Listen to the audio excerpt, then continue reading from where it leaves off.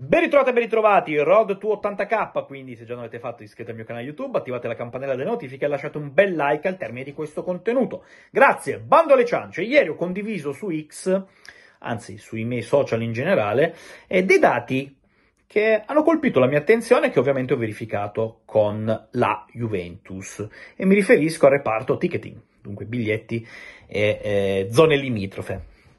Allora, la media spettatori finora proposta dall'Allianz Stadium è di 40.117 persone, quindi pari al 96,7%, eh, la più alta di sempre, di poco superiore alla stagione 2019-2020, quindi 96,7% di media. Delle nove partite disputate fin qui all'Allianz Stadium, 7 sold out appunto su 9 e in maniera anche veemente da registrare il più 16% di visitatori per museo e stadium tour. Quindi coloro che magari per la prima volta vengono a Torino o hanno semplicemente piacere di rivedere i numerosissimi trofei al J-Museum eh, effettuano questo binomio museo più stadio e si eh, rileva un incremento del 16%. Ricapitolando, 96,7% di media, 40.117 spettatori, 7 sold out su 9 e aumento del 16% di museo più stadio.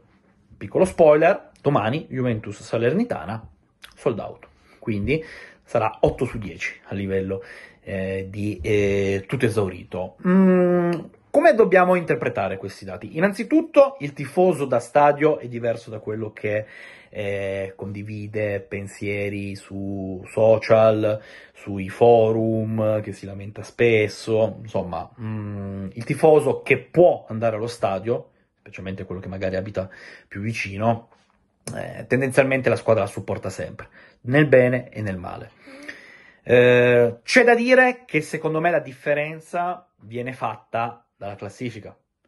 Perché se tu sei mh, competitivo, competitivo il giusto per poter portare a casa qualcosa di importante, il tifoso ti dà fiducia.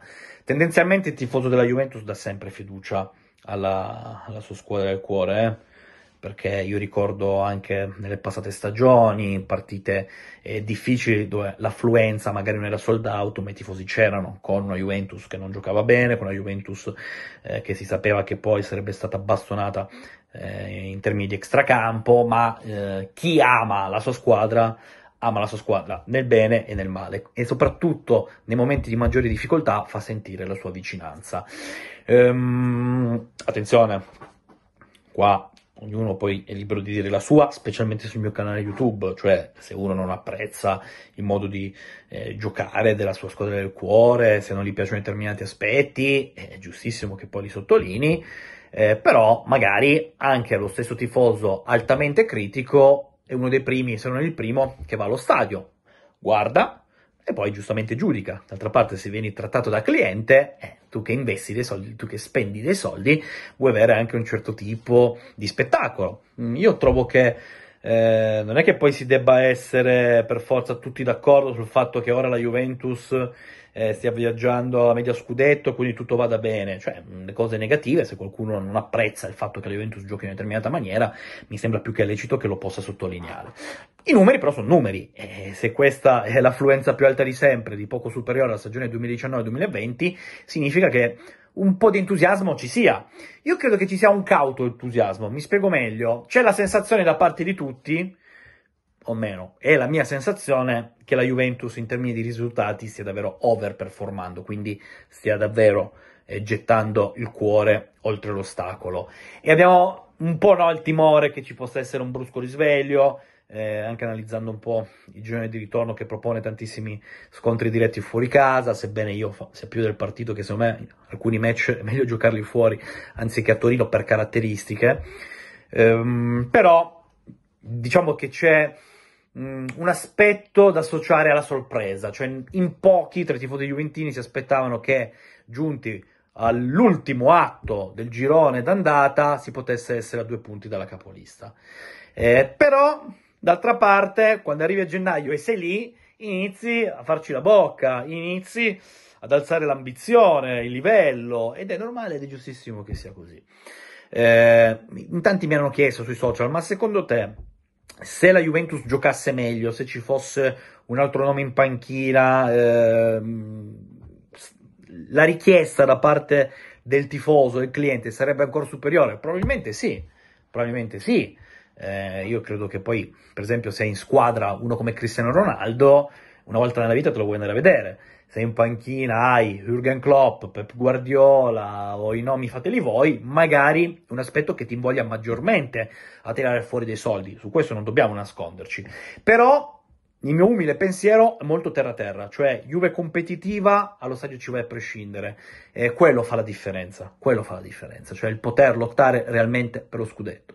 Se lì lotti per lo scudetto, allo stadio ci vai, anche a costo di fare grandi sacrifici perché non parliamo di pochi soldi e poi la, se vai in una famiglia, eh, con la famiglia eh, parliamo di quindi 3, 4, più persone, e da me, e da me è vero, ma in generale questi numeri mi hanno sorpreso.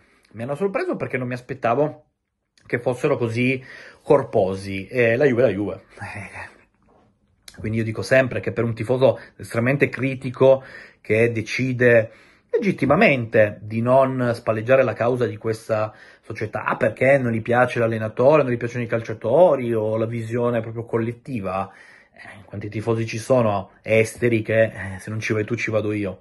Non è un caso che specialmente la Juventus stia abbracciando quel mondo, io penso a paesi con la moneta sonante, i tifosi che magari vivono in Germania, in Austria, in Svizzera, eh, non è un caso che tante persone arrivino eh, da quelle parti, perché se lo possono permettere magari più eh, di una persona che magari in Italia ha qualche difficoltà a far tornare i conti. Eh, il calcio non può essere questione di vita o di morte quando devi dare eh, solidità a una famiglia, quando devi cercare di eh, rientrare nei parametri, budget e tutto ciò che conosciamo perfettamente. Quindi per uno che decide di eh, voltarsi volutamente, ce ne sono X dietro pronti a prendere il suo posto, specialmente considerando come non si parli di un impianto no? da 70-80 mila spettatori. Qualcuno mi ha anche, tra i tifosi di altre squadre, mi ha detto ma cosa c'è eh, da vantarsi di riempire uno stadio con 40-41 mila persone? Mm, innanzitutto nessuno si vanta, però i numeri sono numeri. I numeri sono importanti e credo che poi debbano dare anche mh, mm, il termometro della stessa piazza, ma eh, la mia fotografia è davvero banale. Per me la Juventus competitiva, alla fine lo stadio eh, lo riempi sempre perché risultatisti, giochisti, esteti e quant'altro, alla fine ciò che davvero conta, specialmente considerando uno dei motti dei, eh, di, questa, di questa società, è vincere. E quindi vincere invoglia il tifoso ad andare sempre di più allo stadio.